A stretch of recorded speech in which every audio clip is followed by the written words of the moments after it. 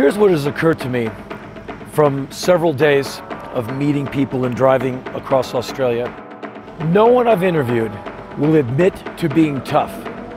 But when you factor in the land, the temperature, the incredible isolation that some people endure with their job, toughness is mandatory.